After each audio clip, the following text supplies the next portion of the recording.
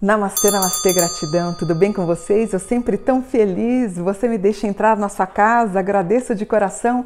Já se inscreveu no canal Mônica Bonfilho? Se inscreve, venha fazer parte da Casa Espiritualista Mônica Bonfilho. Hoje eu quero fazer um tema que eu adoro, é o tema relacionado à angelologia. É eu sou professora de anjos e angelologia há 38 anos e eu quero falar sobre Metatron e o inverso dele, que é o demônio Samael. Vamos lá? Metatron é o príncipe dos serafins na hierarquia angelical, que são nove. Ele é o príncipe, portanto, da primeira hierarquia. Em algumas tradições, ele é tido como anjo supremo, o porta-voz divino, o mediador de Deus e da humanidade. Eh, os estudiosos acreditam que ele é uma espécie de escrivão de Deus, onde ele registra tudo o que acontece na humanidade e depois vai prestar contas a Deus é uma figura muito importante na mística judaica. Metatron é citado no livro de Enoque e designado como príncipe do mundo, e o seu nome significa o guardião da vigia ou ainda o grande protetor. Os textos deixam claro que ele é o maior representante, o maior anjo de Deus. Outras fontes acham que Metatron é o próprio profeta, uh, profeta Enoque, quando ele uh, sobe aos céus e se transforma em Metatron. Enoque foi o pai de Matusalém, antepassado de Noé, ou seja, para Cabala, Enoque sobe aos céus na forma do anjo Metatron. E qual que é a função dele?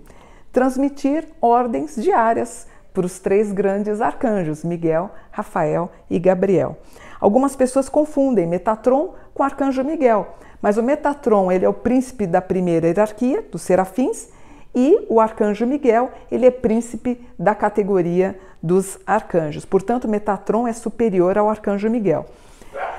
Metatron é descrito como um anjo imenso, o mais alto de todos os anjos, tendo mais ou menos entre 2 metros e meio a 4 metros, uma figura muito imponente, com 72 asas em 12 pares de seis e um número incontável de olhos, dos quais ele precisa para executar a sua grande tarefa. Nesse sentido, ele se mantém como um grande guardião do universo, mantenedor das forças do universo. Metatron teria sido o condutor de Moisés quando ele vai ter com Deus na sarça ardente e também é considerado o anjo do Mestre Jesus. Ele teria sido também o anjo que guia o povo hebreu na travessia do Mar Vermelho junto a ele, por ele é que Moisés consegue abrir o mar.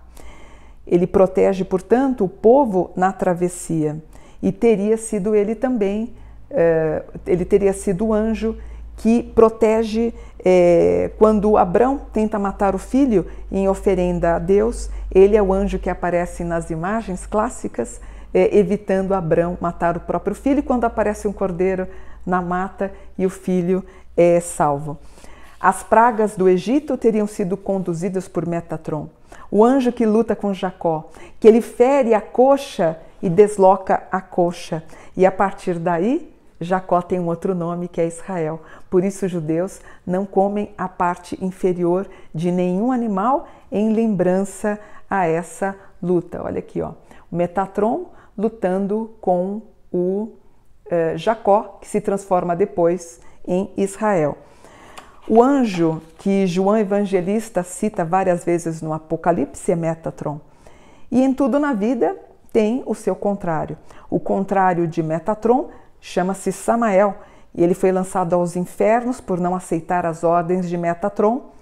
E ele, ele vai para o inferno, né? porque ele, ele luta, ele briga com Deus, ele, se, ele afronta com Deus e Metatron, eh, uns dizem Metatron, outros dizem o arcanjo Miguel, e ambos mandam o Samael para os infernos. Sama significa veneno e El, Deus. Então, Samael é o anjo contrário, o demônio que acusa, ele seduz, ele é chamado de Deus cego e destruidor.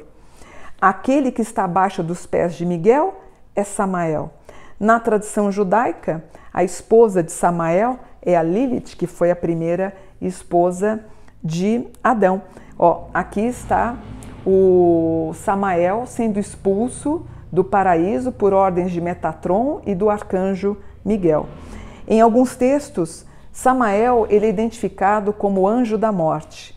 Na Cabala ele é descrito como anjo da ira de Deus, que teria influenciado Nero e Hitler aquela destruição horrível.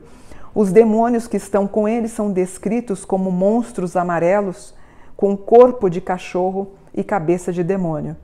Samael usa os seres humanos seduzindo-os para o poder.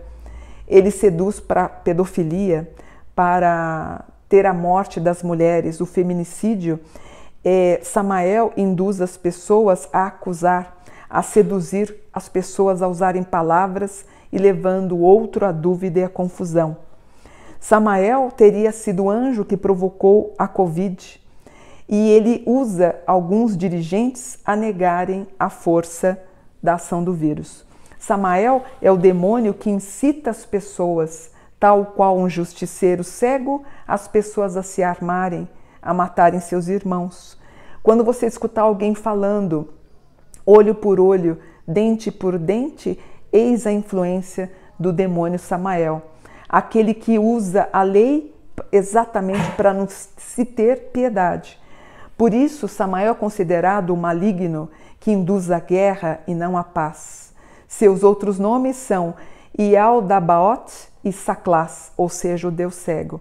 Ele é retratado em alguns textos como uma serpente com rosto de leão, e Samael também é chamado de Ariael, aquele que tem a cabeça de leão.